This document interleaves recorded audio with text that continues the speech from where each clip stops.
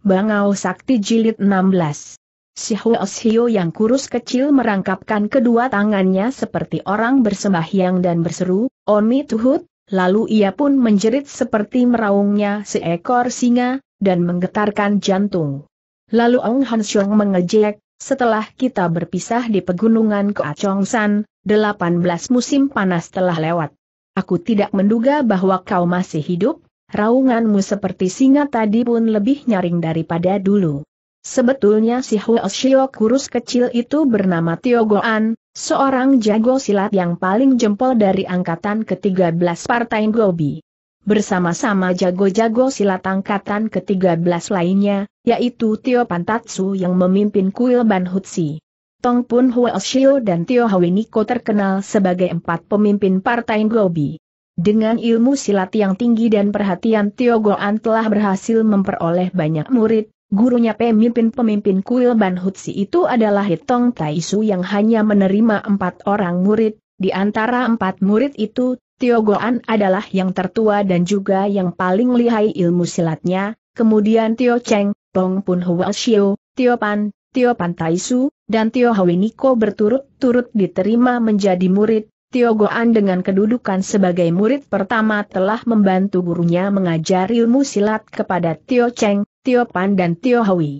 Tetapi tiga tahun sebelumnya Ritong Taisu menutup mata, Tio Goan telah melanggar peraturan partai silat Gobitu, dan diusir keluar dari kuil Ban Hutsi oleh gurunya, dan hanya dapat kembali ke Ban Hutsi setelah lewat 20 tahun.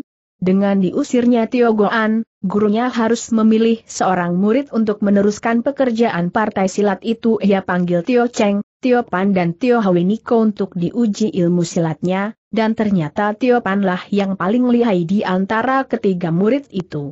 Itong Toasu memerintahkan Tio Pan dengan melalui Tio Cheng yang lebih tua maupun lebih dulu diterima sebagai murid telah melanggar peraturan bulim yang lazim, tetapi Tio Cheng tak dapat membantah ketika Tio Goan kembali ke kuil Ban Hutsi setelah menunaikan hukumannya, Tio Pan telah memimpin Ban Hutsi 17 tahun, Selama 20 tahun itu Tio Goan telah berkelana ke banyak tempat dan lama berkecimpungan di kalangan Kang Ou sehingga watak dan sifatnya banyak berubah ia tidak iri hati terhadap Tio Pan yang masih tetap memimpin Ban Hutsi, bahkan membantunya memajukan dan memperbesar partai Gobi.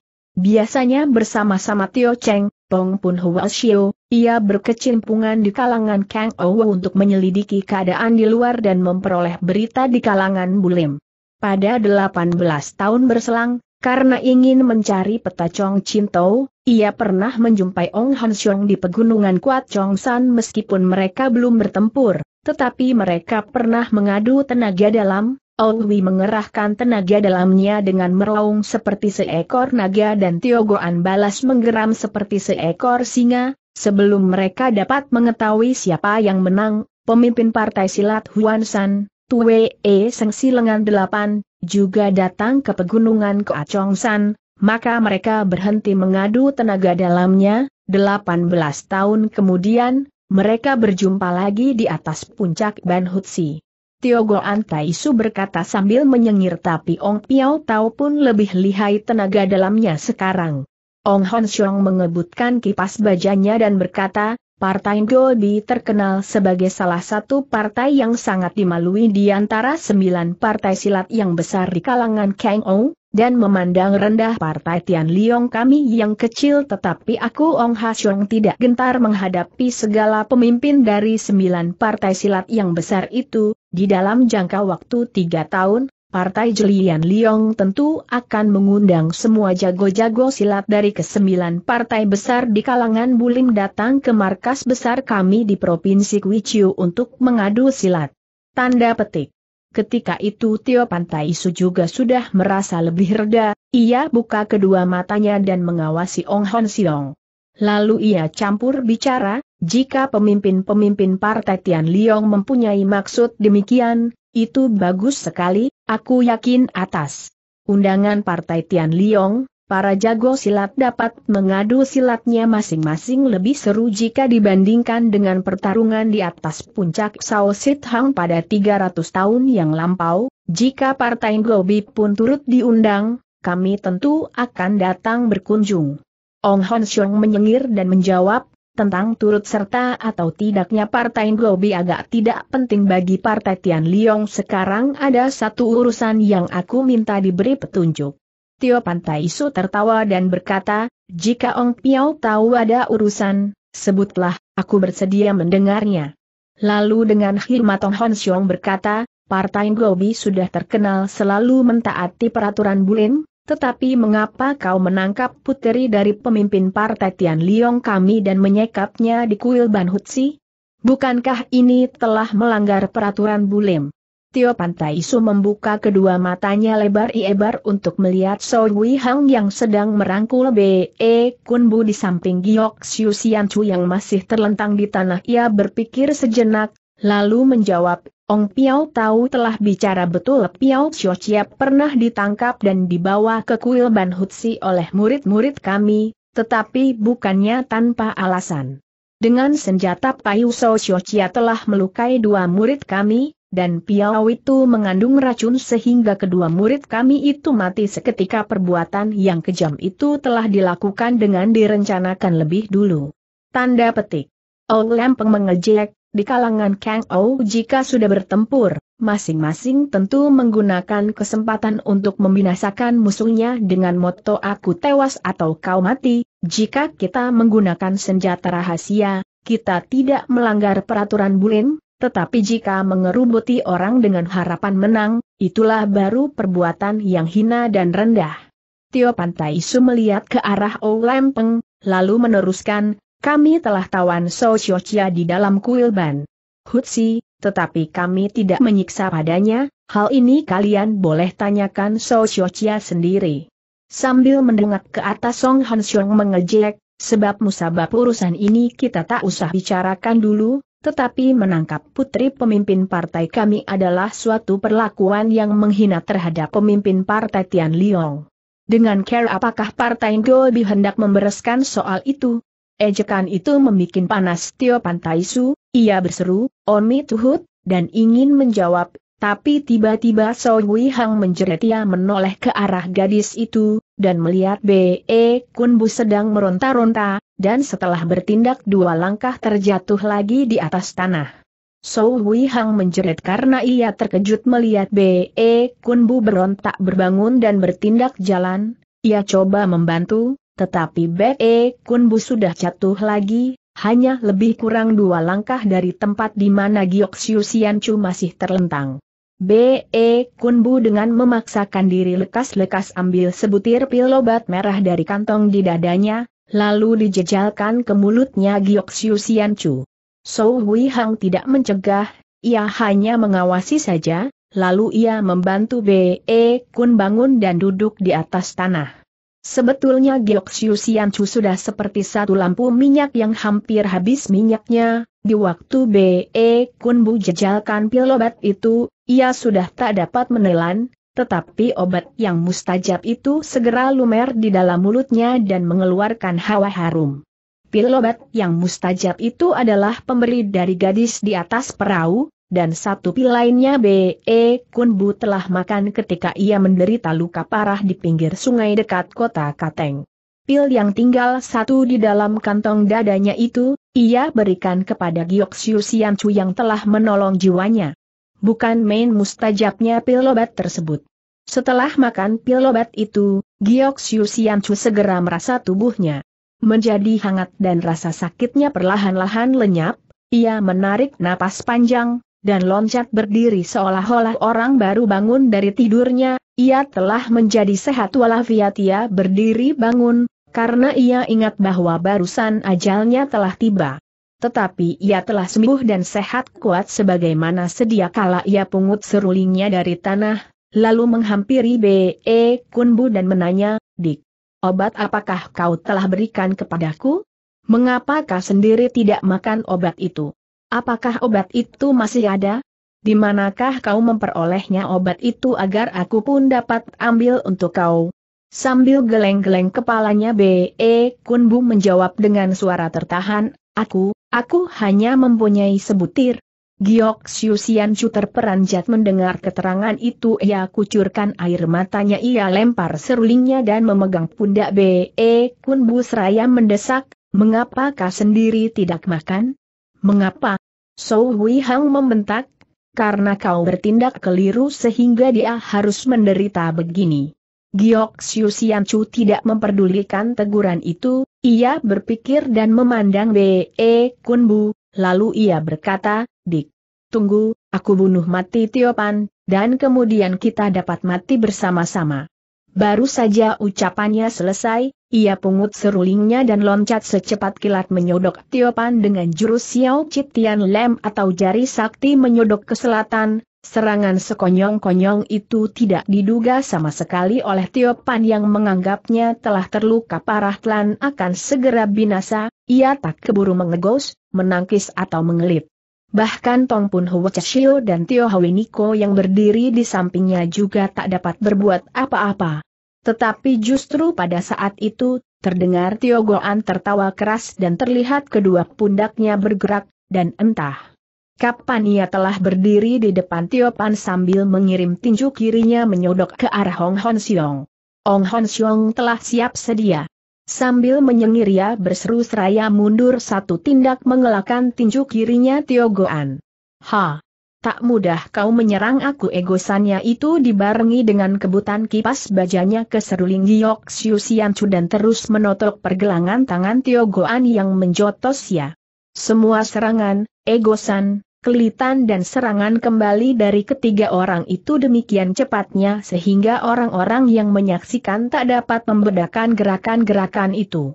Hembusan angin dari kipas bajanya Ong Han Siong telah dirasakan oleh Tio Goan, dan ia yakin bahwa kebutan itu dilancarkan dengan tenaga dalam yang lihai dan dapat menghancurkan batu, maka ia lekas-lekas menarik kembali tangan kirinya itu sedangkan seruling Giok Siu Sian Chu tidak menjumpai sasarannya karena terdampar oleh angin tinjunya Tiogoan dan kebutan kipas baja Ong Han Siong.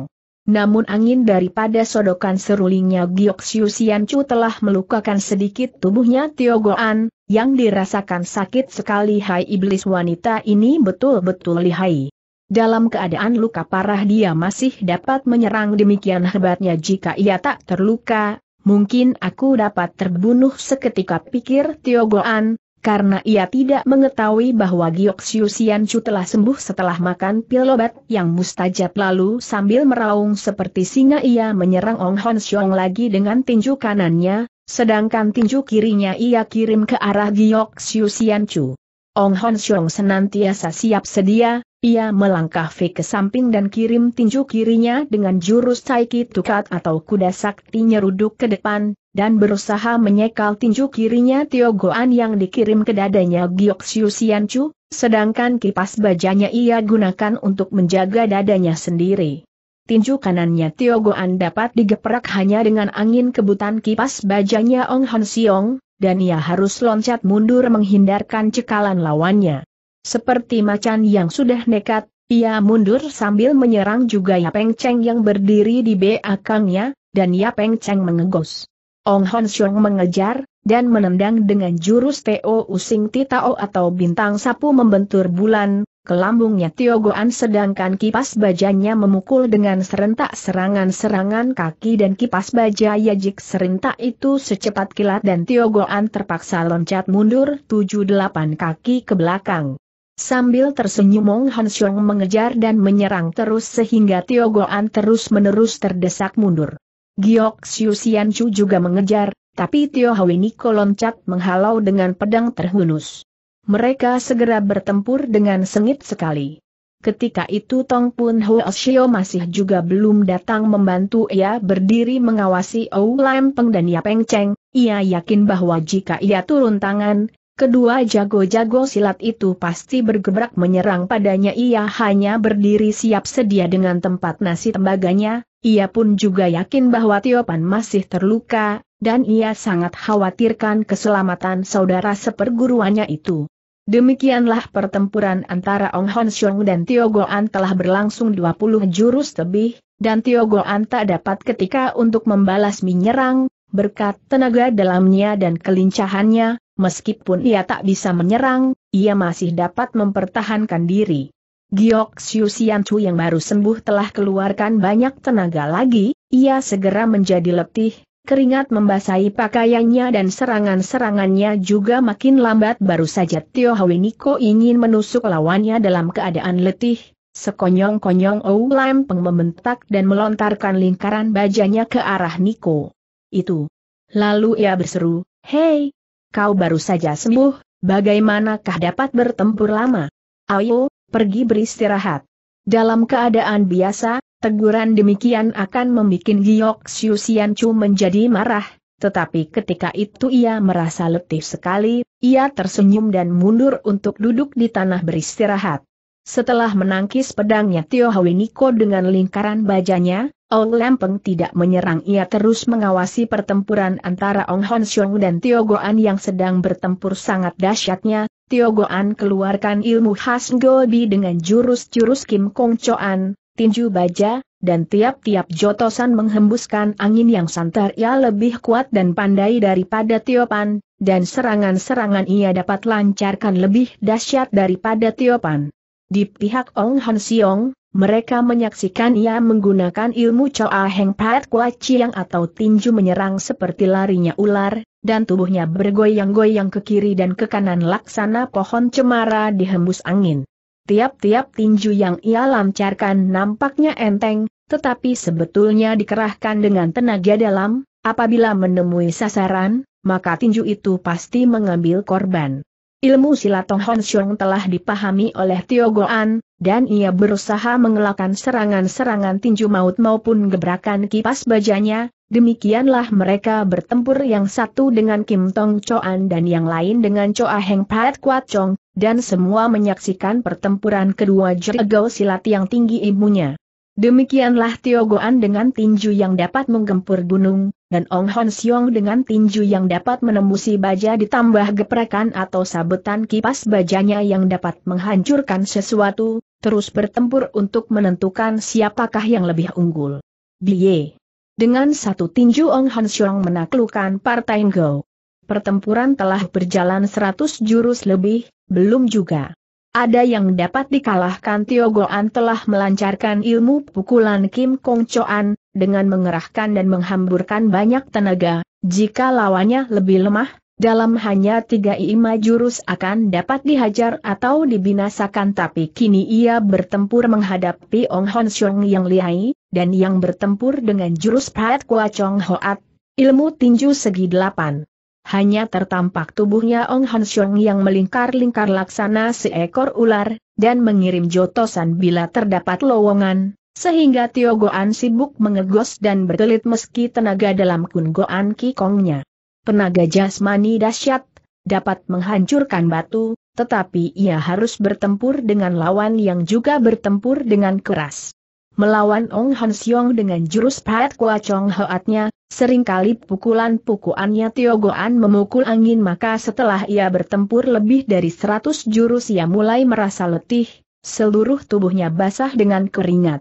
Tiogoan insyaf bahwa jika ia terus-menerus bertempur care demikian, meskipun ia tak terluka, tetapi lambat laun ia akan menjadi letih dan dapat dipukul binasa oleh lawannya, dengan keinsyafan itu ia segera robah jurus-jurusnya dari menyerang keras menjadi hanya menjaga diri dan menanti kesempatan mengirim jotosan-jotosan mautnya. Ong Hon Siong tertawa mengejek hak ilmu pukulan Kim Kong Choan yang terkenal di kolong langit hanya begitu saja ejekan itu ia barengi dengan satu loncatan ke depan dan jari-jari tangan kanannya berusaha menotok jalan-jalan darah lawannya dan tangan kirinya menyapu ke samping kepada lengan lawannya yang coba menangkis totokannya serangan itu dilakukan secepat kilat, dan Tiogoan pasti binasa jika ia tidak lekas-lekas loncat mundur ke belakang.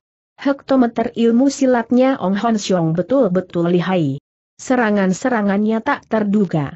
Rupanya pertempuran sekarang ini adalah pertempuran mati atau hidup pikir Tio Goan. Ong Hon Siong tidak mengejar ia lipat kipasnya kembali dengan maksud menyodok lawannya dengan ujung kipasnya itu. Tiba-tiba Tio Goan datang menjotos secepat kilat itu tak dapat diegosi meskipun Ong Han Xiong memiliki ilmu silat yang tinggi sekali, ia merasa hembusan angin dari jotosan itu dari diadanya.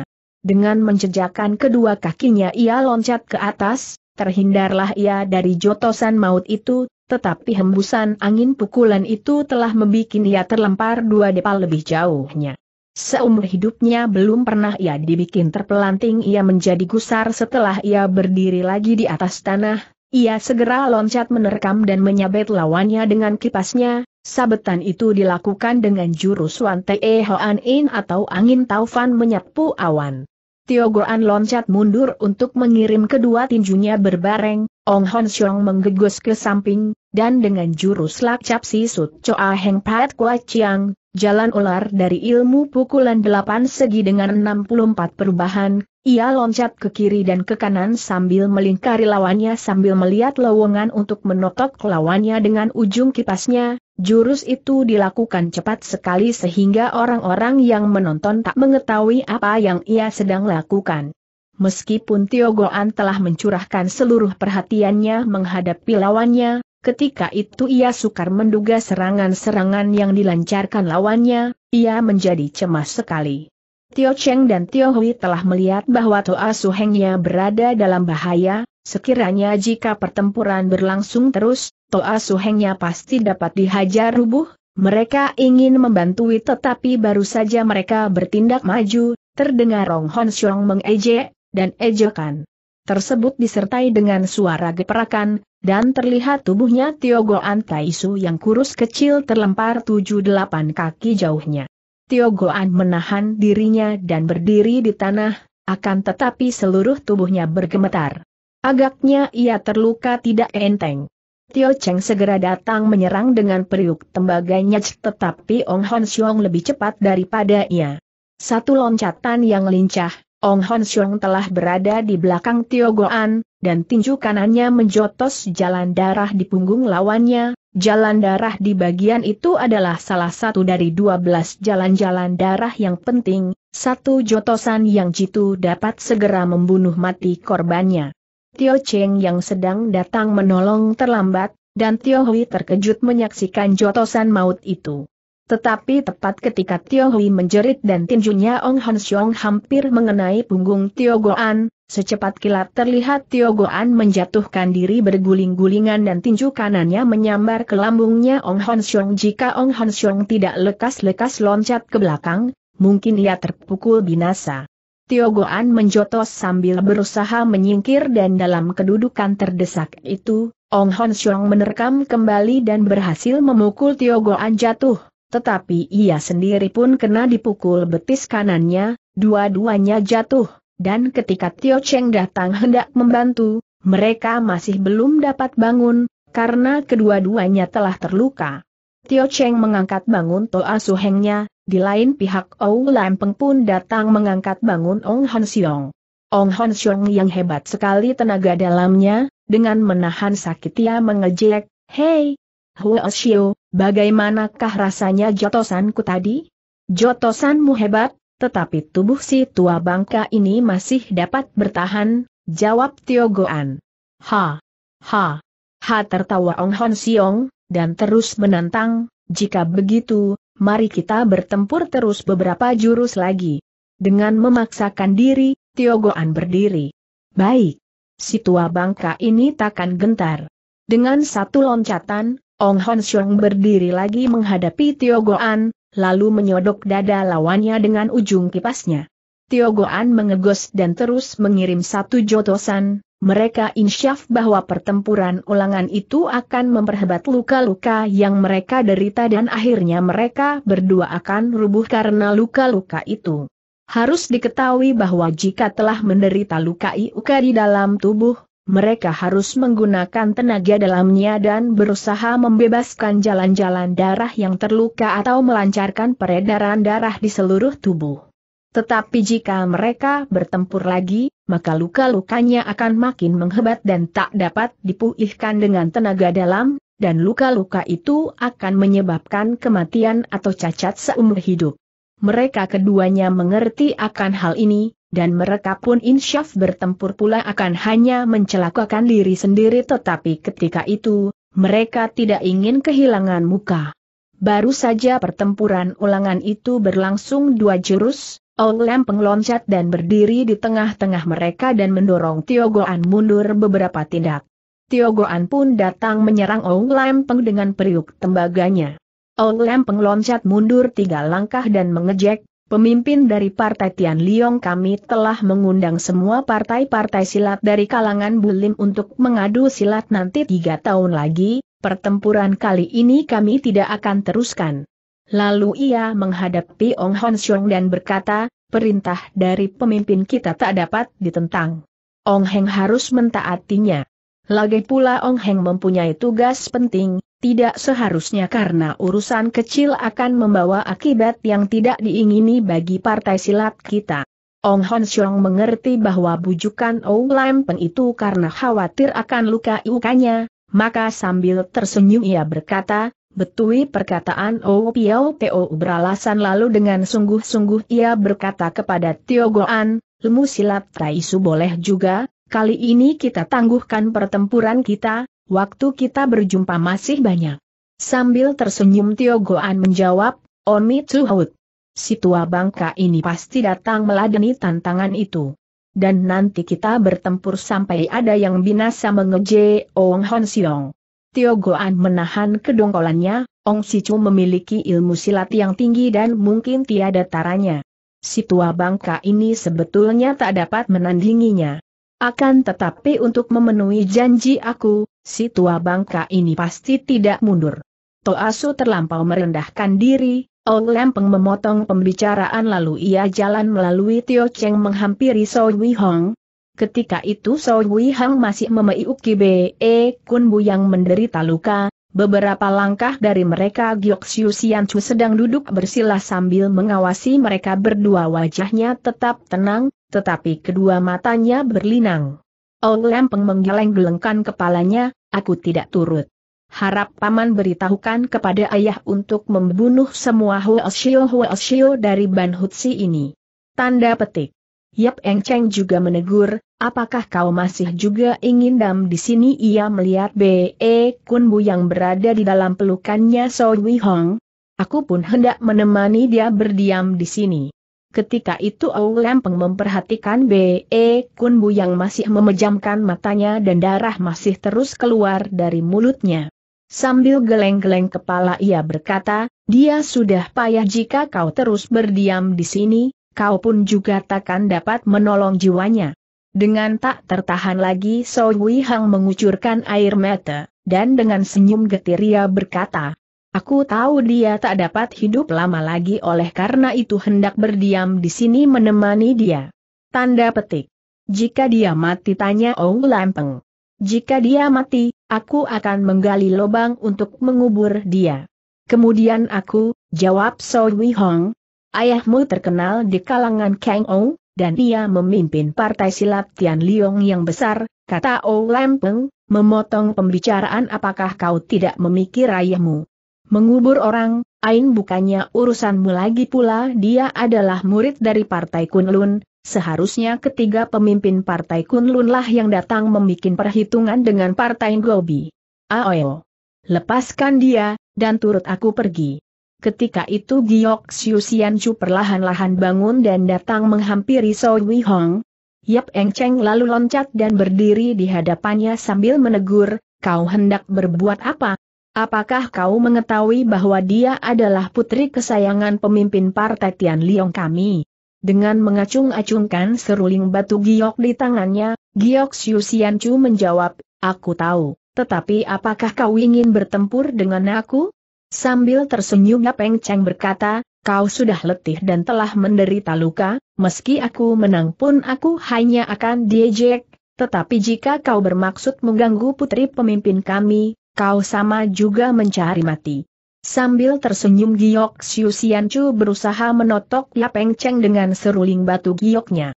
Yap Eng Cheng mengegos dan membalas kirim dua jotosan yang mendesak Giok Siu Sian Chu mundur tiga tindak. Kau ingin melawan aku sekarang? Aku kira kau harus tunggu sampai Kasmibuh Betui Yap Eng Cheng memperingatkan. Tetapi Giok Chu menjawabnya dengan serangan yang bertubi-tubi sehingga Yapeng Cheng sibuk menangkis dan mengegos.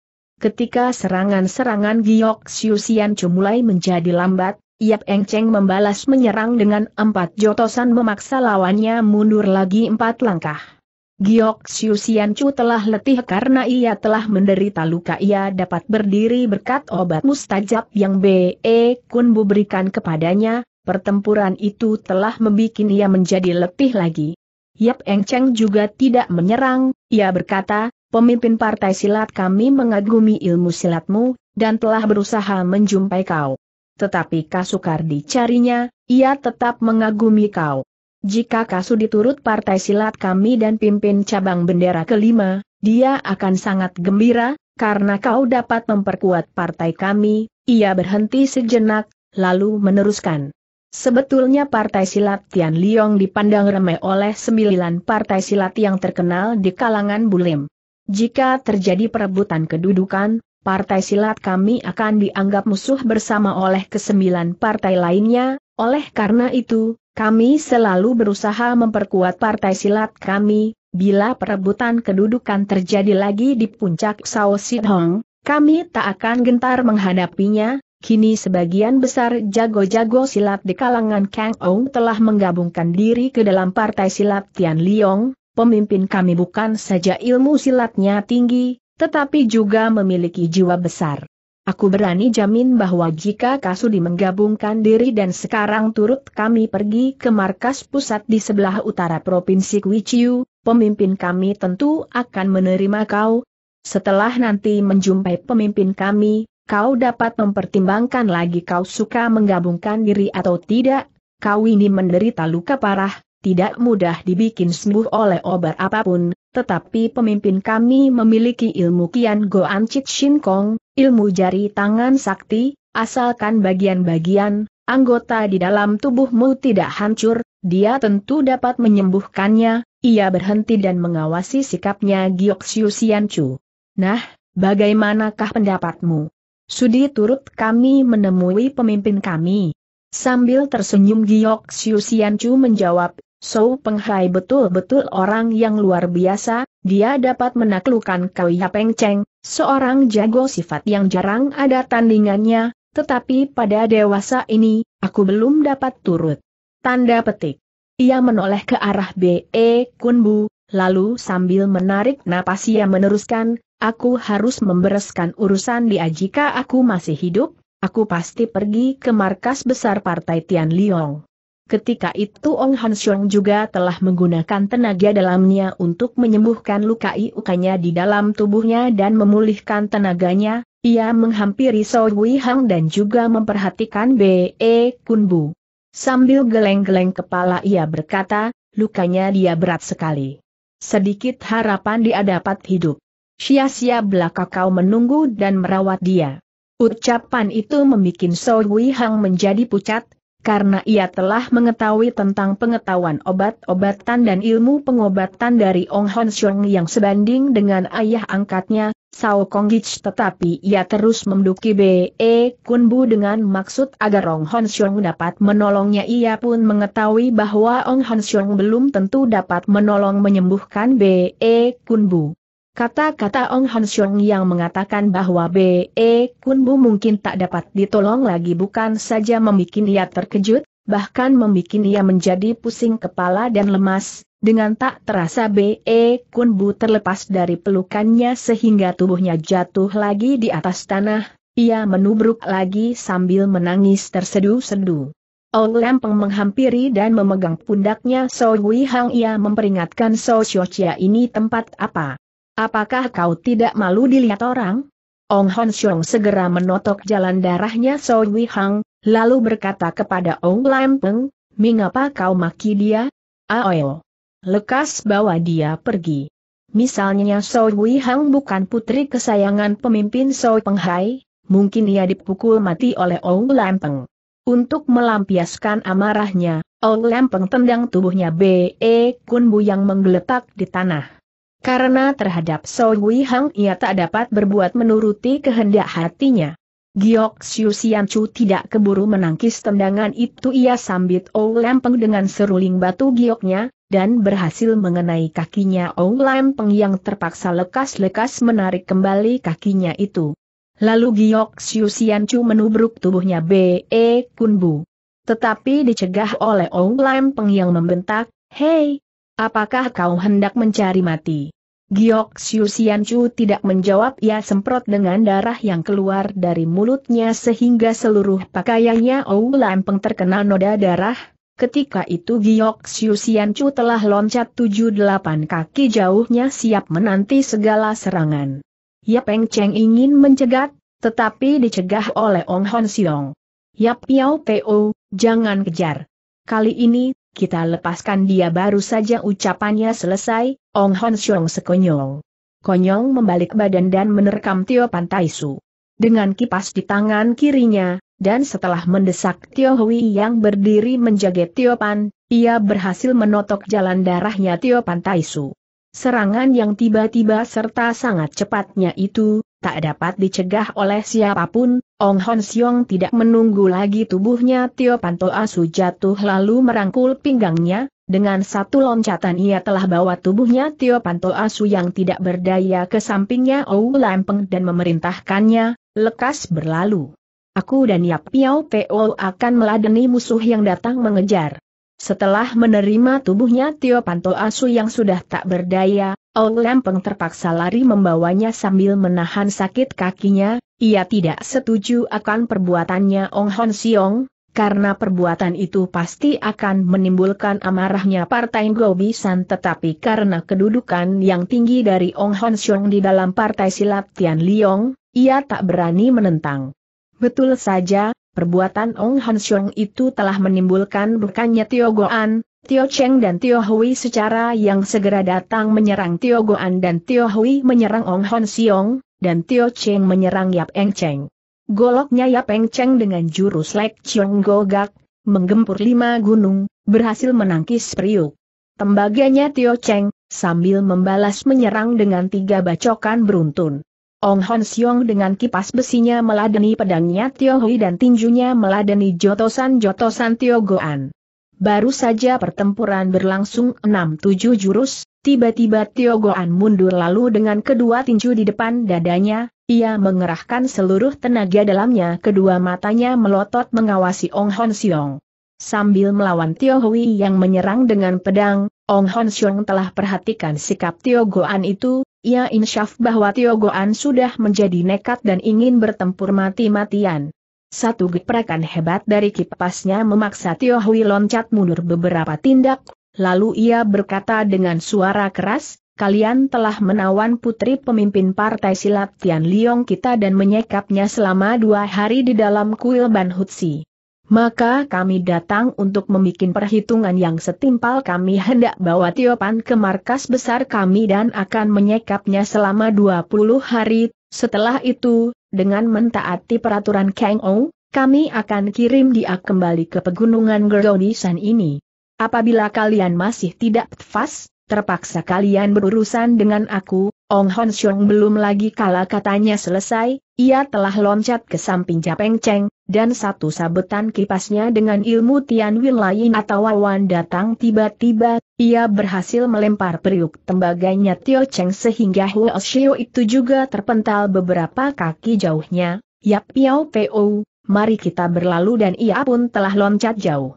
Yap Eng Cheng pun segera loncat jauh sambil mengambil satu butir biji besi dari kantongnya. Tio Goan Asu membentak, Hai, Ong Hon Siong. Apakah kau kira kau dapat lari dengan gampang? Ia pun mengejar cepat sekali, setelah berada delapan sembilan kaki jauhnya dari Ong Hon Siong, kedua tinjunya dari depan dadanya disodokkan keluar dengan serentak. Ong Hon Siong mengetahui bahwa ia tak dapat menangkis kedua tinju itu dengan satu tangan, karena serangan itu dikerahkan dengan seluruh tenaga daem, ia segera menjatuhkan diri berguling-gulingan sampai tujuh delapan kaki jauhnya sehingga ia berada dekat sekali di sisi jurang. Yap Eng Cheng terkejut ia loncat dan menjamret pakaiannya Ong Hon Siong, tiba-tiba terlihat tangan kanannya Ong Hon Siong menjamret satu batang pohon cemara yang tumbuh di sisi jurang itu justru pada saat itu Tio Goan loncat mengejar batang pohon tersebut digunakan oleh Ong Hon Siong untuk kelandasan melonjak ke belakang, dan secepat kilat terlihat tubuhnya seolah-olah terbang ke atas. Kesempatan baik itu digunakan oleh Yapeng Cheng untuk mengirim jotosan ke lambungnya Tio Goan, tetapi Tio Goan telah waspada dan siap sedia untuk menjaganya. Ketika tinju kanannya berusaha mendorong Ong Han Xiong agar terjerumus ke bawah jurang, tangan kirinya menjaga diri, maka jotosan Yapeng Cheng dapat diegosi dengan jurus Lek Pintian Lem atau angin selatan menahan awan tetapi ia tidak menduga jika Yapeng Cheng menjotos dengan susah payah ketika jotosan kedua datang menyambar lagi ia terpaksa loncat ke belakang, Yap Eng Cheng mengejar Tio Cheng tidak tinggal diam, ia menyerang dari belakang, dalam keadaan demikian, Yap Eng Cheng tak dapat menghindari gebrakan periuk tembaganya Tio Cheng, dan jika periuk tembaga yang lebih dari seratus kati itu menumbuk punggungnya, maka habislah riwayatnya. Justru pada saat itu Ong Han Xiong seperti seekor harimau yang sedang mengamuk loncat secepat kilat dan memukul lengannya Tio Cheng dengan kipas besinya. Aduh menjerit Tio Cheng kesakitan, dan periuk tembaganya jatuh di tanah.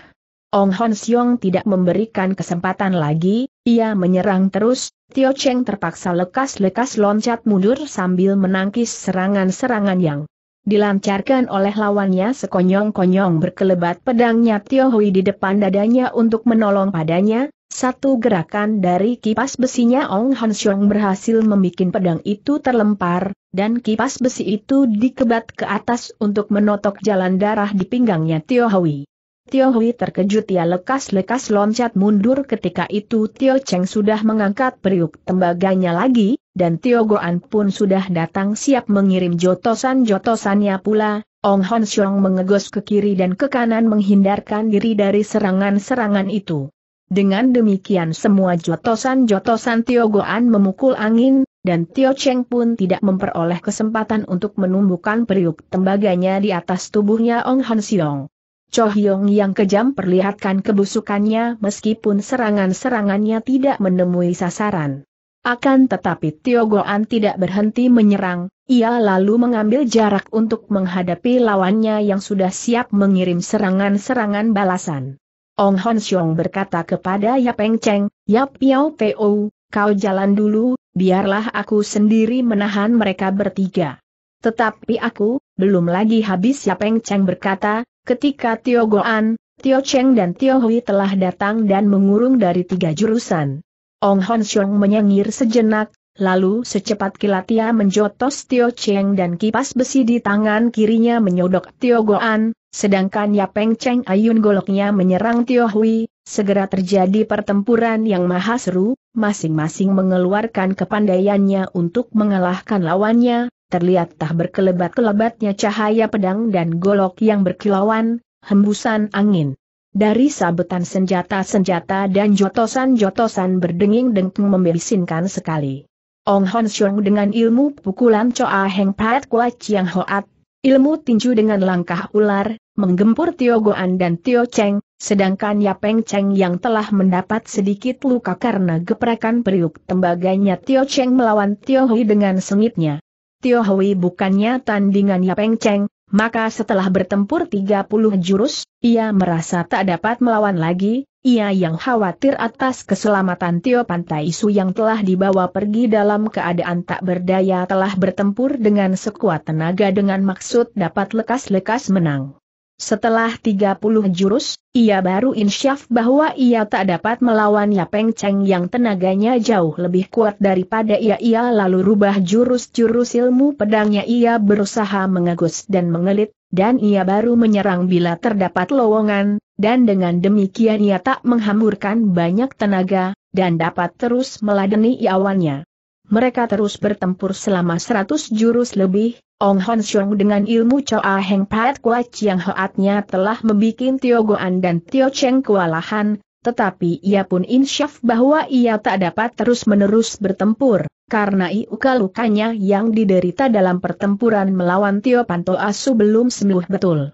Dengan memikir keselamatan dirinya, tiba-tiba ia menyerang kedua lawannya bertubi-tubi dengan tinju dan kipas besinya.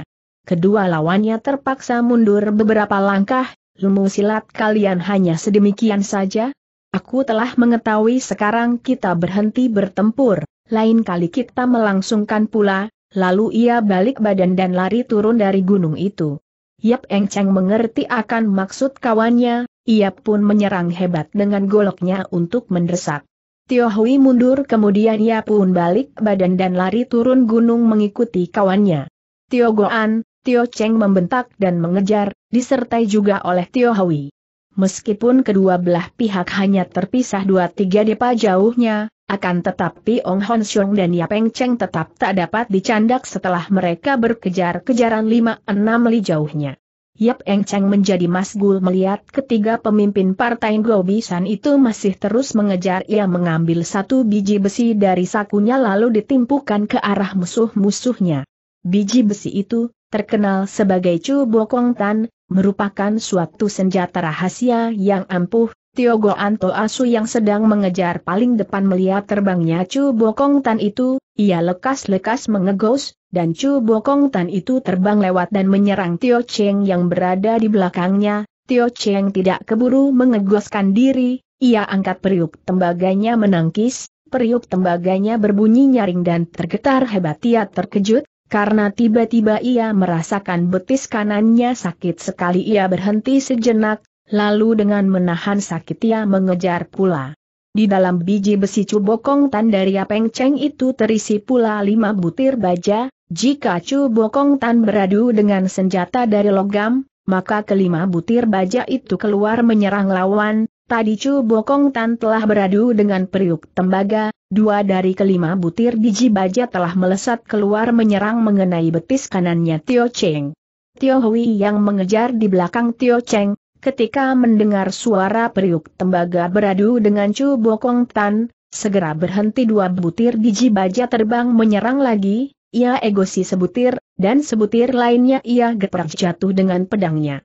Ketika itu Ong Han dan Yapeng Cheng telah lari jauh, Tio Goan hanya dapat mengawasi dari belakang dan insyaf bahwa mereka tak dapat dikejar lagi, ia membanting-bantingkan kaki Bahna Gusar dan mendongkotnya. Luka di betis kanannya Tio Cheng bertambah hebat, ia merasa seakan-akan betis itu dibakar ia periksa dan melihat betisnya mulai bengkak, sekonyong-konyong terdengar Tio Goan tertawa gelak-gelak. Tio Cheng dan Tio Hui menjadi heran melihat sikap Toa Suhengnya itu. Toa Suheng. Kau mengapa tanya Tio Hui? Tio Goan Toa Su berhenti tertawa, air mata mengucur dari kedua matanya, lalu dengan gemas ia berkata, Semenjak kita membentuk partai silat Gobi, kita belum pernah mendapat hinaan serupa ini. Seorang pemimpin kita dibawa kabur apakah kita masih ada muka di kalangan bulim?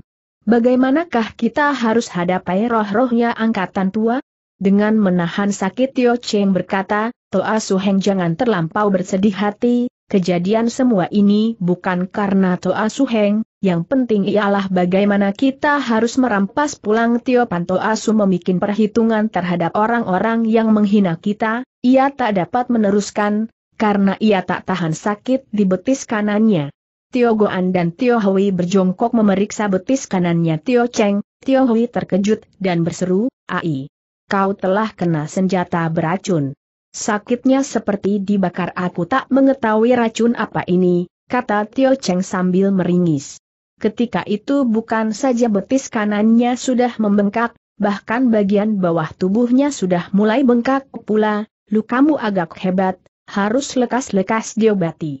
Ayo, kita kembali ke kuil. Di kemudian hari kita pasti membuat perhitungan terhadap jago-jago silat dari partai Tian Liong kata Tio Goan ia cemas menampak lukanya Tio Cheng. Dengan perasaan putus asa Tio Hui berkata, partai silat Tian Liong besar, dan jago-jago silatnya bukan main hanya. Kita hanya bertiga, aku yakin kita tak dapat berbuat apa-apa, menurut pendapatku, kita harus berserikat dengan partai-partai silat Butong, Cheng Xia, Suat San untuk menggempur partai Tian Liong, aku yakin ketiga partai itu tentu sudi berserikat dengan partai Gobi kita. Karena ketiga partai itu sudah mempunyai ganjilan terhadap partai Tian Liong. Tanda petik. Partai silat Cheng Xia mempunyai hubungan erat dengan partai Gobi kita, kata Tio Goan, sudah tentu mereka sudi membantunya, tetapi partai-partai Butong dan Suat San, meskipun mempunyai ganjilan terhadap partai Tian Liong, aku masih khawatir mereka tak sudi membantu, untuk menarik kedua partai silat itu ke pihak kita, kita harus mempunyai rencana yang baik.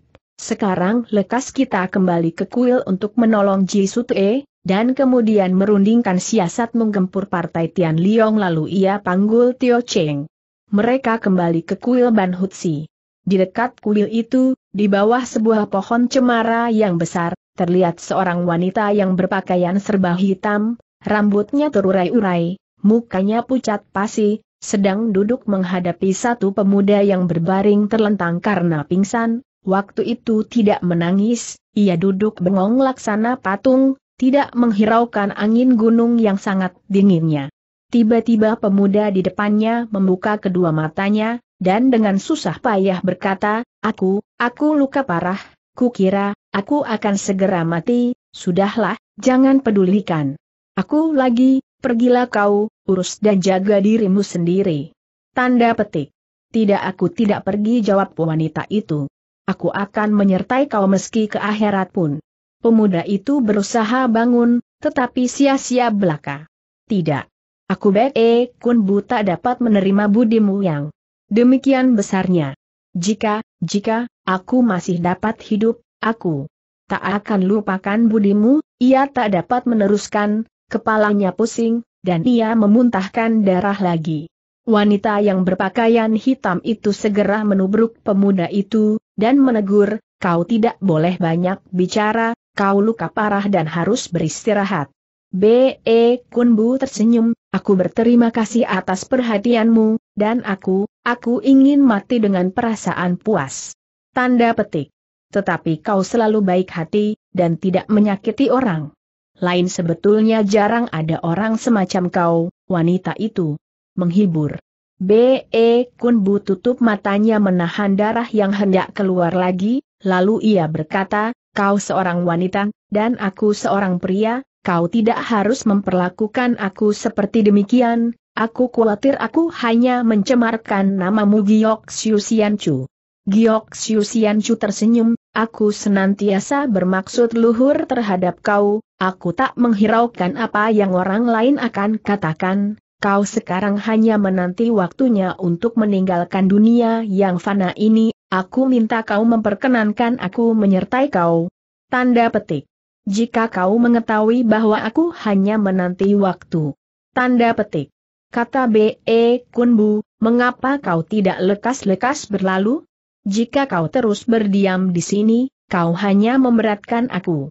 Lalu dengan khidmat Giok Siu Sianchu berkata, aku tak tahan menyaksikan kau bertambah menderita, aku akan mengakhiri penderitaanmu. Lalu ia ambil seruling batu gioknya dan hendak memukul mati B.E. Kunbu.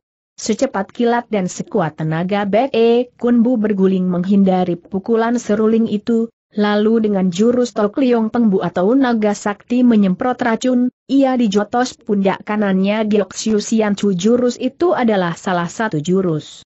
Istimewa dari pukulan Tian Kong Chiang yang ia dapat pelajari dengan mahir betul, dan bukan main ampuhnya, akan tetapi dalam keadaan payah seperti itu, ia hanya berhasil membuat seruling terlepas dari pegangan Giok Siu Sian Chu. Egosan dan serangan B.E. Kunbu itu membuat Giok Siu Sian Chu terperanjat B.E. Kunbu segera bangun dan lari ke arah puncak gunung di depannya.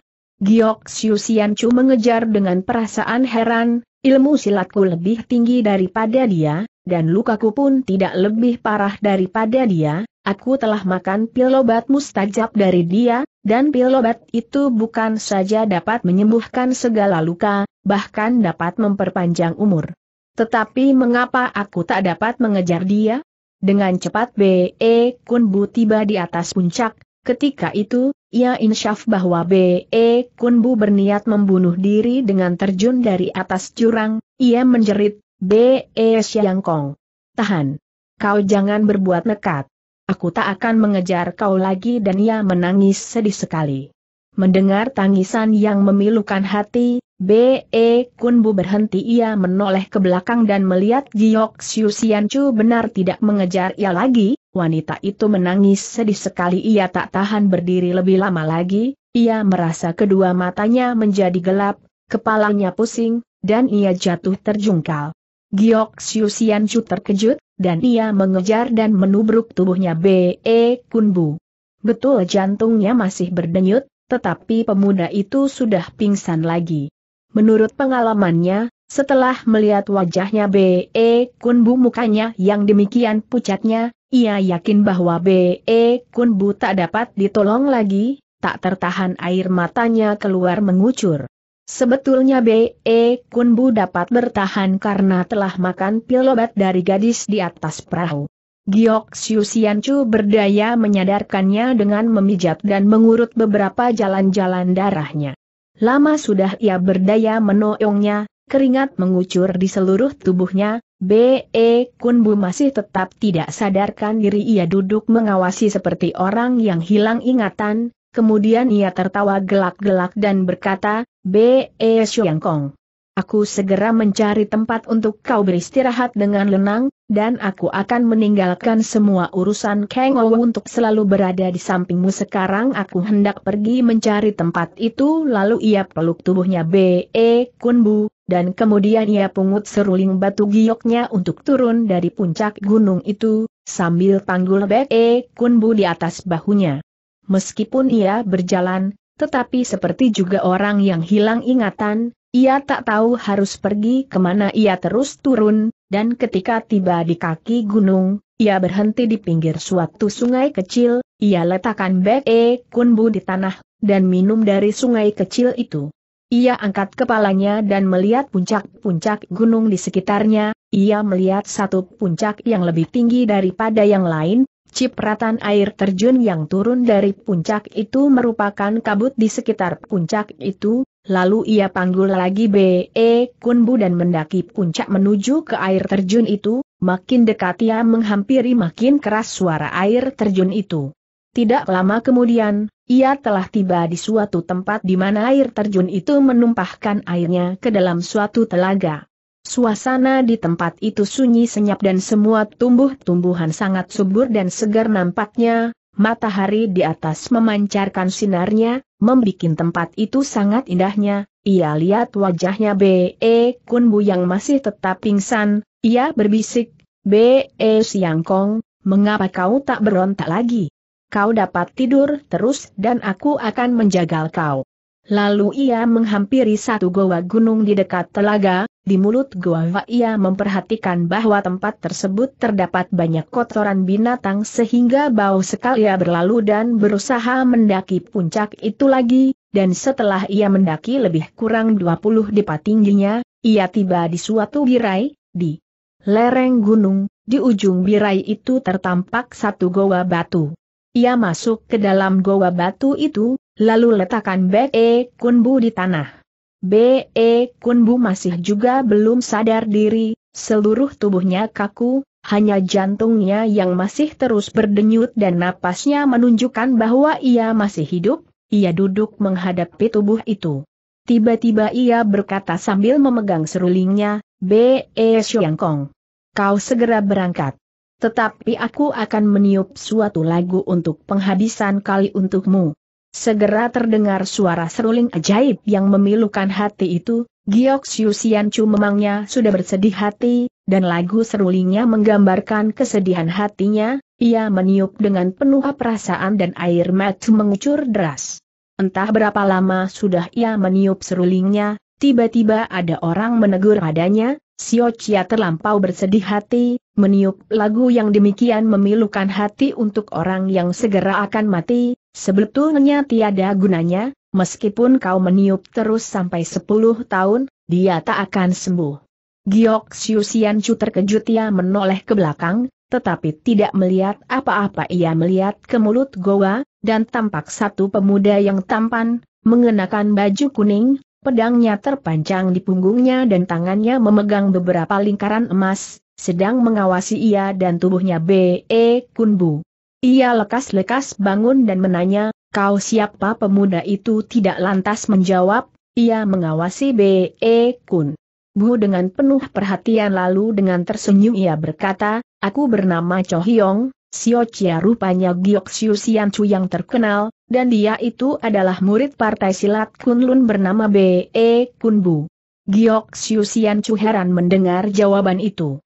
Cho Hyong jongkok dan memeriksa B.E. Kunbu, lalu berkata, Hai, saudara B.E. ini meskipun menderita luka parah, akan tetapi sangat beruntung, di waktu sehat warafiat ia didampingi oleh gadis cantik, dan di waktu dekat mati, ia disertai oleh wanita yang elok manis dan yang rela meniup lagu bela sungkawa untuknya. Tanda petik. Ejekan tersebut sangat menyinggung Giok Chu ia sodok pundaknya Cho Hyong dengan serulingnya, tetapi dengan secepat kilat Cho Hyong mengegos dan tangan kirinya menahan seruling itu dengan jurus Hun In Ki Guat atau membuyarkan awan memetik bulan, lalu dengan tangan kanannya ia rangkut tubuhnya B.E. Kunbu dan loncat keluar dari gua batu itu. Giok Sian Chu mengejar sambil berteriak-teriak ia mengetahui bahwa jalan untuk turun atau naik jurang itu sangat sukar dan berbahaya, ia yakin Cho Hyong tak dapat lari jauh dengan membawa B.E. Kunbu. Tapi alangkah herannya ia ketika menyaksikan dengan kepala mata sendiri bahwa Cho Hyong dapat berlari-lari sambil membawa B.E. Kunbu dengan lincahnya. Ketika sudah dekat sekali, dengan jurus Sam Sing Cui Guat atau tiga bintang mengejar bulan, Giok Siu Sian Chu menyodok punggungnya Cho Hyong beruntun tiga kali dengan serulingnya, tetapi dengan secepat kilat, sambil memegangi B.E. Kunbu di tangan kanannya, Cho Hyong berbalik dan menangkis sodokan-sodokan seruling lawan dengan tangan kirinya, Kero Cho Hyong berbalik dan menangkis serangan belum pernah dilihat oleh Giok Sian Chu dalam pengalamannya beberapa tahun di kalangan Kang Ia tak mengerti ilmu silat apa yang dimiliki oleh pemuda Ilu. Hanya terdengar Cho Hyong tertawa gelak-gelak, dan dalam sekejap mata pemuda itu datang menerkam. Giok Siu Sian Chu, yang sudah menjadi gusar karena kelancangan Cho Hyong, menyabet dengan serulingnya dengan jurus Kong Chiok Kai Peng atau burung merak membuka kedua sayap. Sabetan itu menghembuskan angin yang dapat mendampar terpelanting lawannya.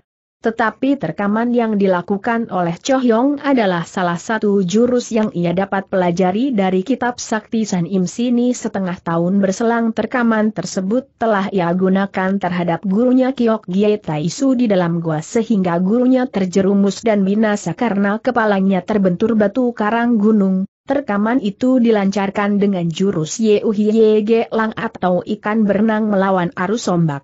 Giok Siu Sian Chu tidak mengetahui lihainya jurus itu sekonyong-konyong ia melihat Cho Hyong sudah berada di sampingnya setelah sabetan tidak berhasil ia terkejut lekas-lekas ia menyodok lagi, justru sodokan itu yang diharapkan oleh Cho Hyong. Ketika sodokan itu mendatangi Cho Hyong betot lengannya Giok Siu Sian Chu dan meneruskan memijatnya, pijatan itu lebih lihai daripada totokan jalan darah yang lazim dilakukan oleh jago-jago silat umumnya.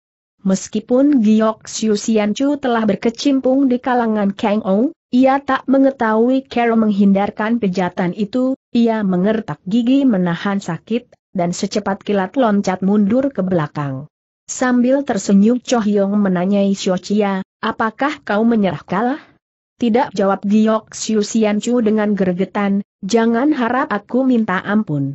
Jika aku ingin membunuh kau, Aku hanya perlu memukul sekali lagi, tetapi aku ingin kau mengaku kalah kata Cho Hyong. Giok Siu Sian Chu tidak menyahut ia mengawasi Cho Hyong dengan sikap yang waspada menjaga diri, ia harus akui bahwa Cho Hyong ini adalah seorang pemuda yang tampan, dan lihai sekali ilmu silatnya. Cho Hyong menegur lagi, apakah kau tidak mau mengakui kalah? Giok Siu Sian Chu menjawab dengan satu loncatan tiba-tiba dan menyodok mukanya Cho Hyong dengan serulingnya lagi-lagi Cho Hyong mengegos dan menggunakan jurus Yeu Hye Ge Lang. Giok Siu Sian Chu terbetot tangannya, dan terdengar Cho Hyong mengancam dengan beringas, Ha! Kau tidak mengaku kalah? Kau rasai pukulanku ini tanda tanya. Belum habis ucapannya ketika ia mendengar Bek E Kun Bu yang berada di dalam pelukannya berseru, suaranya lemah, Cho Hyong, jangan, jangan lukai dia. Tanda petik. Cho Hyong tidak teruskan mengirim pukulan mautnya, ia terperanjat mendengar permintaan B.E. Kun Bu. Ia melihat mukanya B.E. Kun Bu yang sudah membuka kedua matanya, entah kapan B.E. Kun Bu telah siuman, Cho Hyong lepaskan tangannya yang mencekal Giok Siu Sian Chu, dan sambil memeluk B.E. Kun Bu ia loncat keluar dari goa itu. Ketika ia lihat lagi, B.E. Kun Bu sudah memejamkan kedua matanya lagi, ia melihat ke bawah jurang, dan pikiran busuknya timbul dengan kedua tangan ia angkat tubuhnya B.E. Kun Bu ke atas dan berseru, B.E. Heng. Jika kau menunda mati secara begini, kau hanya berdosa besar terhadap pemuda-pemuda lain, aku kali ini terpaksa mengakhiri riwayatmu. Baru saja ia hendak melemparkan tubuhnya B.E. Kunbu ke bawah jurang, tiba-tiba ia rasakan hembusan angin orang menyerang ternyata Giok Siu datang menyerang dari belakang, dengan satu enjotan dengan penuh tenaga, Cho Hyong lempar tubuhnya B.E. Kunbu ke dalam telaga di bawah jurang. Ketika itu serulingnya Giok Siu Sian Chu sudah hampir menyodok punggungnya.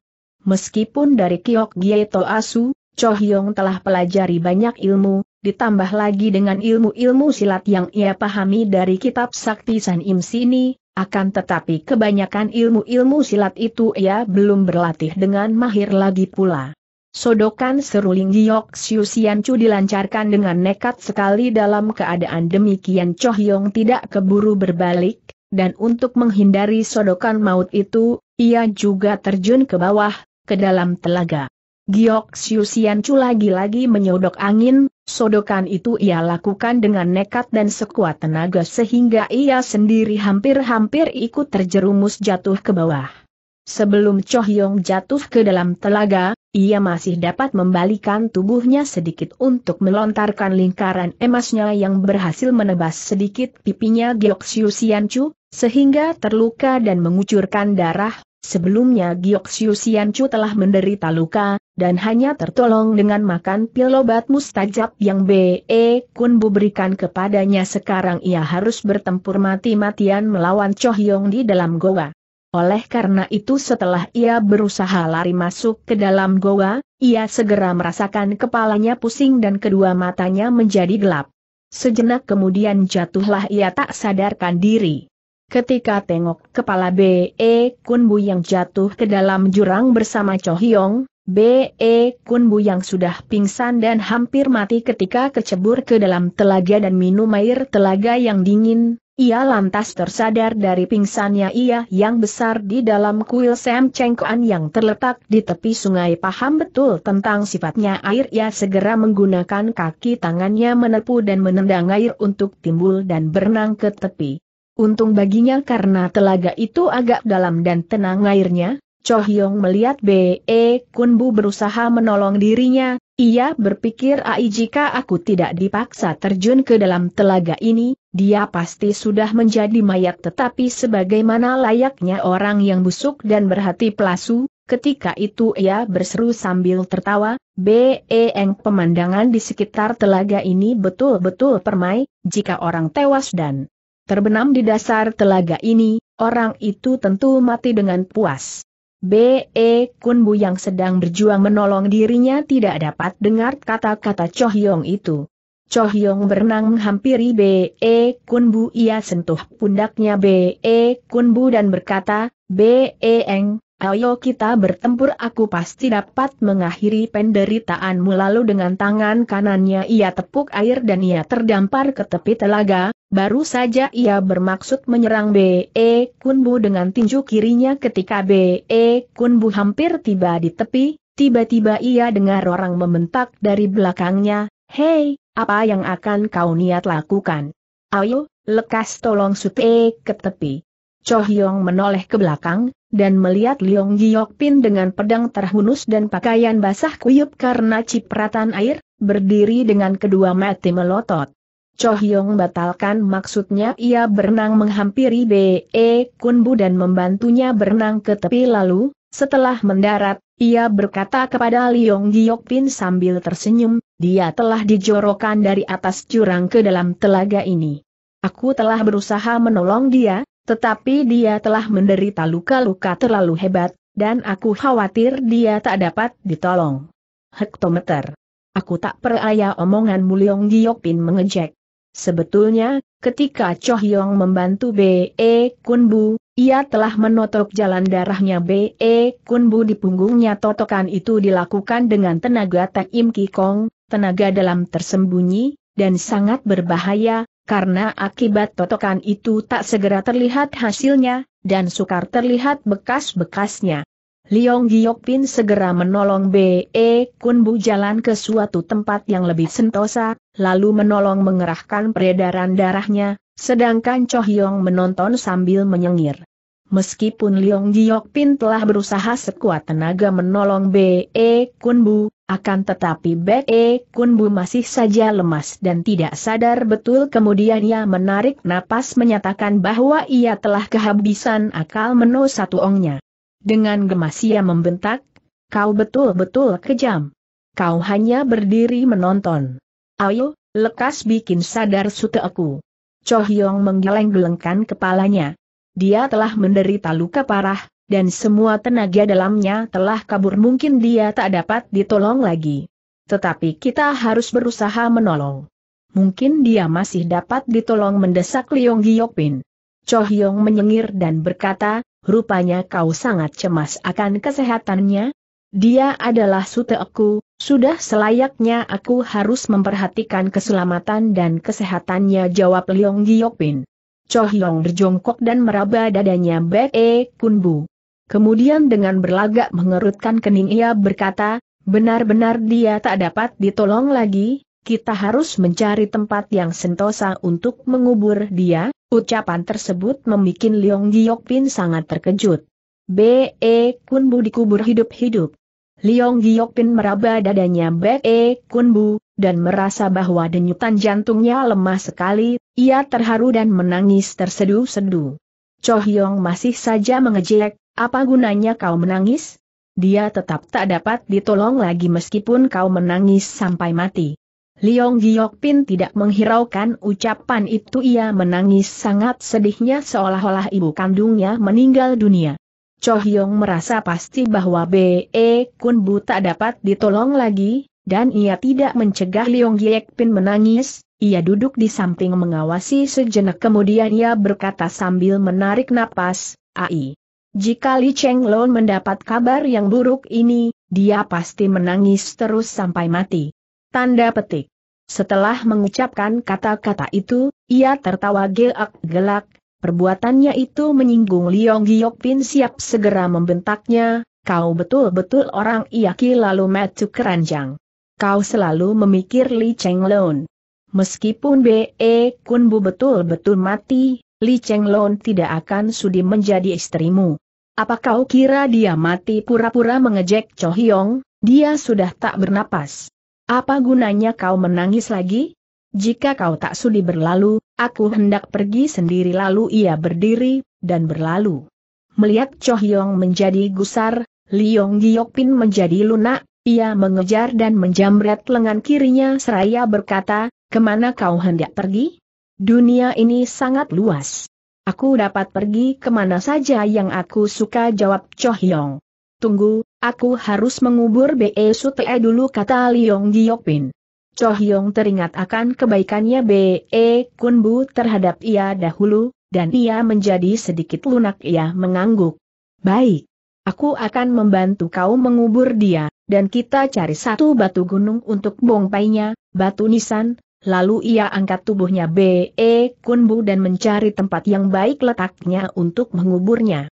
Mereka mencari satu tempat di sisi gunung di mana terlihat banyak sekali batu-batu koral sebesar telur dan berwarna agak putih, lalu mereka mengumpulkan batu-batu koral itu dan membuat suatu lubang dari batu-batu tersebut yang panjangnya lebih kurang sembilan kaki dan tingginya lebih kurang enam kaki.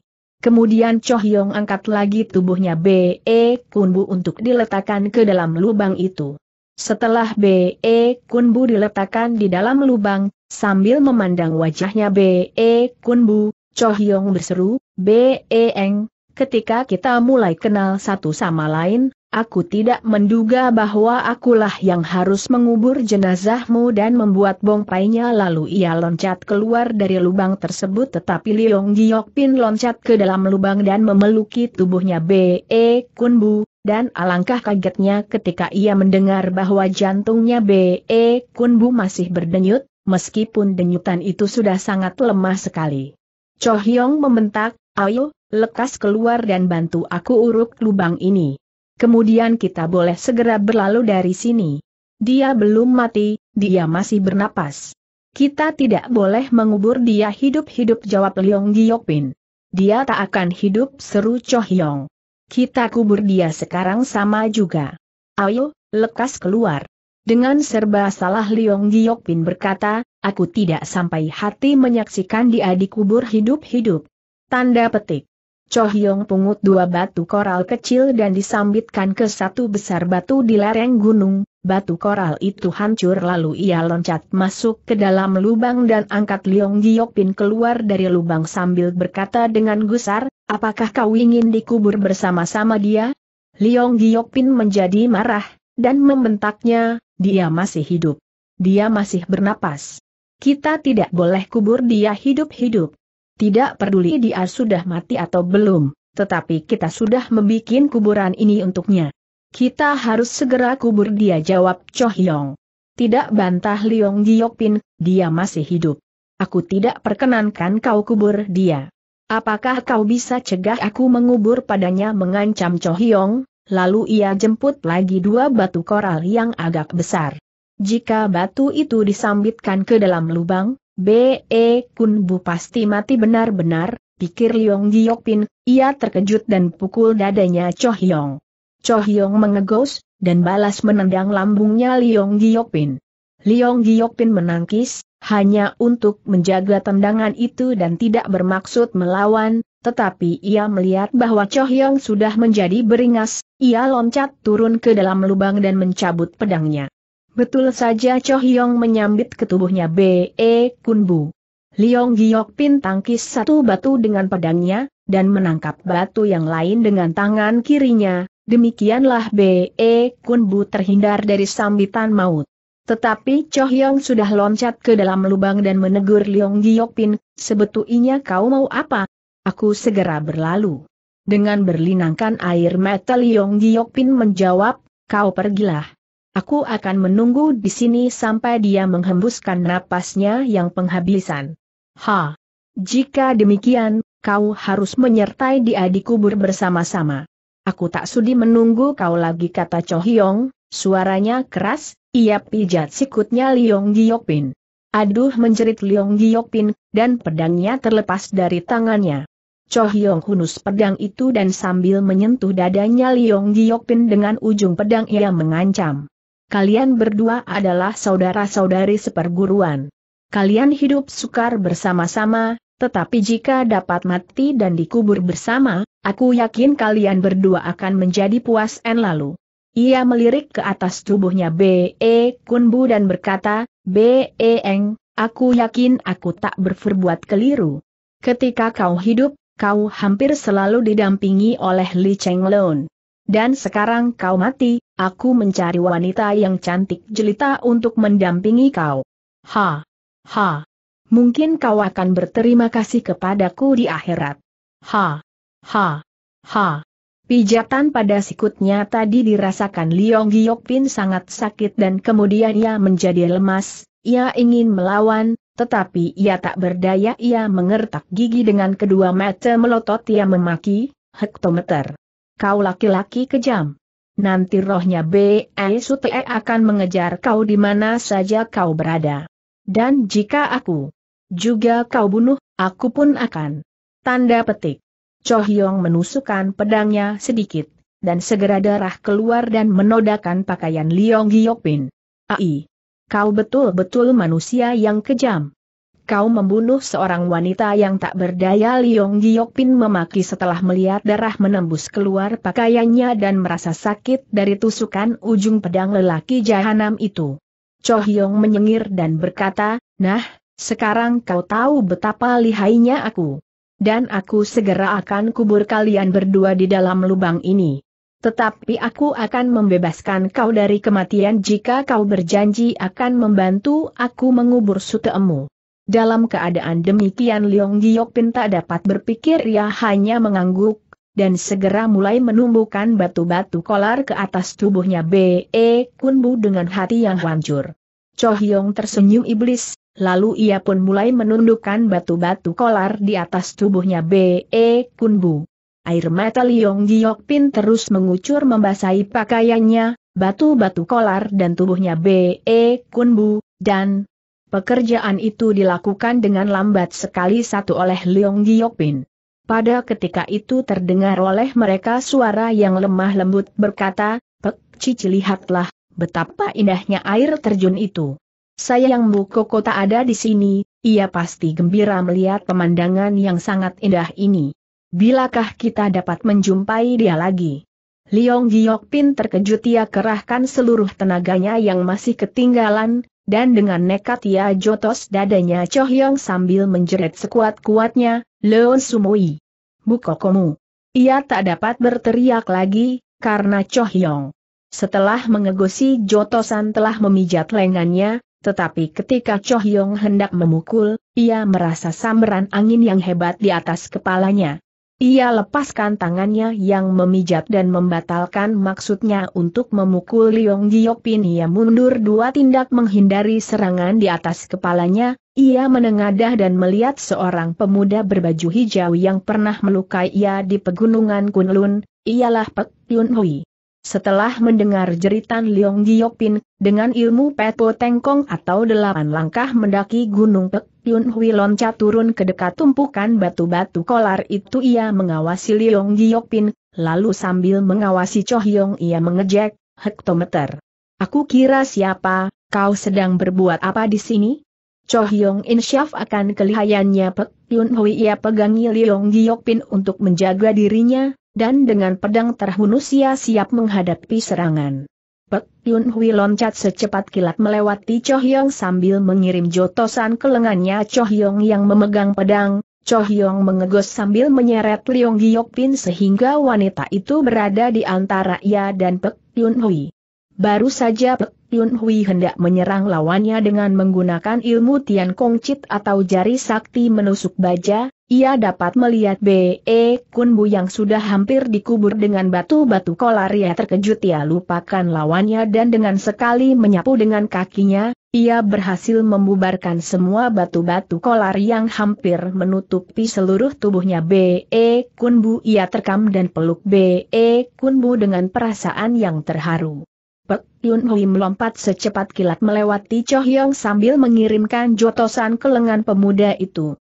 Li Cheng Lo juga mengejar, dan ketika sudah datang dekat, ia lihat Pek Yun Hui sedang memeluki bukokonya, ia pun terperanjat. Kesempatan itu digunakan oleh Cho Hyong untuk lari sambil membetot Leong Giokpin. Kemudian Pek Yun Hui merebahkan B.E. Kunbu di tanah dan memeriksa denyutan jantungnya, sejenak kemudian ia menjadi pucat, dan air matanya mengucur. Semenjak Li Cheng Lon melihat B.E. Kunbu dalam keadaan pingsan, ia telah tertegun dan diam seperti patung tak dapat bergerak atau bicara, matanya membelalak mengawasi Pek Yun Hui yang sedang berdaya menolong Bu Kokonya, ia yakin bahwa Pek Yun Hui tentu akan menolong Bu Kokonya, tetapi ia menjadi cemas ketika menampak Pek Yun Hui mengucurkan air matanya. Pek Cici, mengapa kau menangis? Apakah Bu Koko lukanya parah tanyanya cemas. Pek Yun Hui menarik napas dan menjawab, dia tidak hanya luka parah, tetapi setelah luka, dia telah dianiaya oleh jahanam itu. Aku khawatir dia sukar ditolong. Li Cheng Lon menjerit, ha, apakah dia tak dapat ditolong? Sekarang sukar dipastikan, jawab Pek Yun Hui, kita cari suatu tempat yang tenang dan berusaha menolong dia. Li Cheng Lon tak tahan untuk tidak menangis, dengan hati hancur ia berkata, jika dia betul-betul tidak dapat ditolong, aku pun tidak ingin hidup lagi. Dengan perasaan simpati, Pek Yun Hui menghibur Lon Wai, jika dia meninggal dunia, mengapa kau tidak ingin hidup? Li Cheng Lon sekair matanya, sebab jika dia mati, aku tidak dapat melihat dia lagi, dan aku tentu terus-menerus memikir dia sehingga aku tak dapat berlatih atau belajar silat, dunia menjadi hampa bagiku, hidup demikian apa gunanya ia berhenti sejenak dan berbalik menanyai Pek Cici, jika Bu Koko mati, bagaimanakah perasaan Cici? Pek Yun Hui menghela napas, jika dia betul-betul mati, aku pun bersedih hati, jawabnya. Dan apakah kau masih ingin hidup tanpa dia mendesak Li Cheng Lon? Pek Yun Hui terperanjat ditanya demikian tapi ia segera menjawab, Aku harus hidup untuk membuat pembalasan untuknya dan aku akan mencari tempat yang indah untuk mengubur dia. Pek Cici, kata-katamu betui, kita harus mencari tempat yang indah untuk mengubur dia agar burung-burung dapat bernyanyi untuknya dan bunga-bunga harum terhembus angin mengharumi suasana di kuburannya. Tetapi jika dia sudah mati, kita tak dapat melihat dan mendengar dia lagi. Pek Yun Hui tersenyum, lalu menggendong B.E. Kunbu ke suatu tempat untuk menolongnya, sedangkan Li Cheng Lon mengikuti di belakangnya. Tiba-tiba terdengar suara bangau putihnya Pek Yun Hui berbunyi, dan segera terlihat bangau itu terbang turun menghampiri majikannya. Pek Yun Hui tidak menegur. Bangaunya, dan bangau itu rupanya mengerti bahwa majikannya sedang bersedih hati, dan ia pun terbang perlahan-lahan mengikuti majikannya dari belakang. Setelah mereka melalui beberapa lembah gunung, mereka tiba di suatu lembah yang sunyi. Pek Yun Hui letakkan Bek E Kun Bu di atas rumput, dan sambil bersiul dia memberi isyarat kepada bangaunya, bangau itu mengerti kehendak majikannya, dia pentang kedua sayapnya dan terbang tinggi berputaran di atas mereka seolah-olah mengintai lembah itu. Lembah itu dilingkari di tiga sisi oleh gunung-gunung dan suasana di tempat itu sunyi senyap, Lalu sambil mengawasi Li Cheng Lon, Pek Yun Hui berkata, Leon Moi, untuk menolong Bu Kokomu, aku terpaksa melakukan care pengobatan yang agak ganjil, aku minta kau jangan heran atau kaget. Untuk menolong Bu Koko, aku rela berbuat apa pun jawab Li Cheng Lon dengan sungguh-sungguh. Lalu Pek Yun Hui peluk B. E. Kun Bu, dan dengan Perlahan-lahan ia menggunakan tenaga dalamnya meletakkan Bek E Kunbu lagi di atas rumput, ia tundukkan kepalanya, dan ketika bibirnya hampir menyentuh bibirnya B. E Kunbu, mukanya menjadi merah karena ia merasa canggung, tiba-tiba ia angkat kepalanya lagi. Pek Cici, apakah kau malu aku melihati? Baiklah, aku balik badan, kata Li Cheng Lon. Tidak. Leon Moi, Aku ingin bicara padamu kata Plek Yun Hui. Kau orang-orang wanita tidak harus berpelukan dengan orang laki-laki.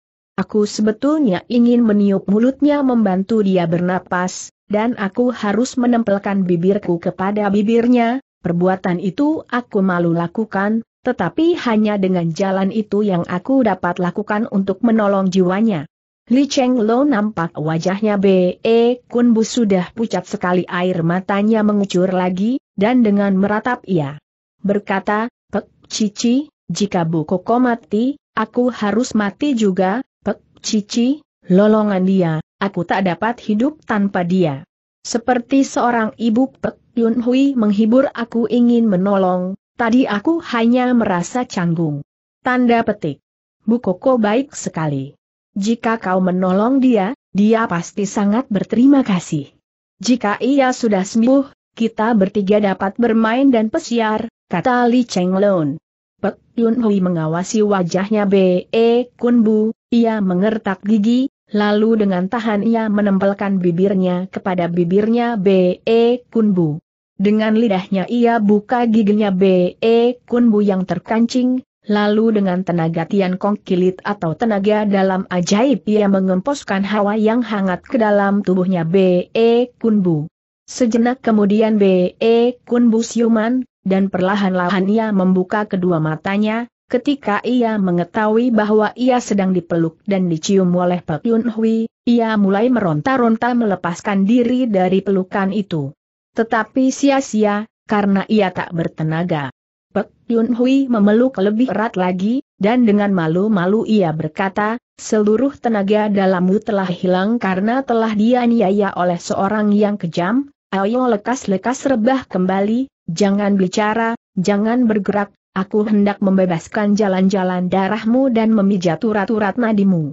Dengan pandangan berterima kasih, B.E. Kunbu menuruti perintah penolongnya, dan pada ketika itu ia pun telah melihat Li Cheng Lon, ia tersenyum sebelum ia memejamkan matanya dan rebah kembali. Li Cheng Lon menghampiri dan sambil berlutut di samping tubuhnya B.E. Kun Bu ia menghibur Bu Koko, tenanglah. Cici sedang berusaha menolong jiwamu. Pek Yun Hui tidak membuang-buang waktu, ia berusaha membebaskan semua jalan-jalan darahnya dan memijat urat-urat nadinya dengan ilmu Tian Kong Chit Kong atau ilmu jari sakti, seluruh tubuhnya basah kuyuk dengan keringat dan ia baru berhenti setelah lewat setengah jam. B.E. Kunbu segera dapat bangun, dan sambil duduk di atas rumput ia mengawasi Pek Yun Hui dan Li Cheng Lo ia memperhatikan juga bahwa Pek Yun Hui sangat letih, Li Cheng Lon menyekai keringatnya Pek Yun Hui dengan sapu tangannya seolah-olah seorang adik terhadap kakaknya, mereka mirip sekali saudara sekandung cantik, ramah dan baik hati. B.E. Kunbu bersyukur kepada Tuhan Yang Maha Kuasa bahwa Pek Yun Hui telah dapat menolongnya dan juga susyoknya, ia tersenyum mengingat peristiwa-peristiwa yang lampau. Li Cheng Lon menegur Bu Koko, apa yang kau tertawai? B.E. Kunbu tidak menjawabnya, ia bangun dan jalan perlahan-lahan ke depan. Li Cheng Lon mengejar dan berseru, Bu Koko. Apakah kau tidak mengenali aku dan Pek Cici? Ia loncat dan berdiri di depannya sambil berkata dengan sedih hati, Bu Koko, mengapa Koko tidak memperhatikan aku?